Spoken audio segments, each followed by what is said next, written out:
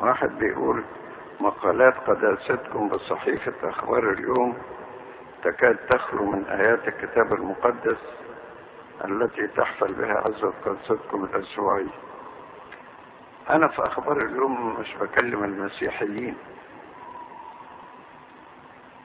أنا بكلم الشعب كله ومش ببشرهم.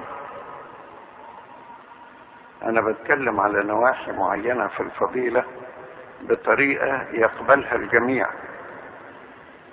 ولذلك في فرق بين العظة اللي الواحد يوعظ بيها مسيحيين والكلام اللي يقوله لغير المسيحيين. انت عايز نبشرهم؟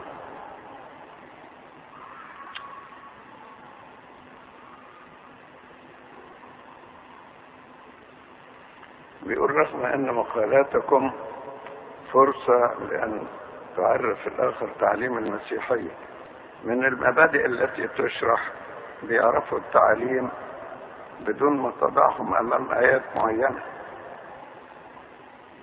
وساعات الإقناع بالمنطق يكون أقوى من الإقناع بالآيات بالنسبة لاشخاص ما يقبلوش الآيات دي.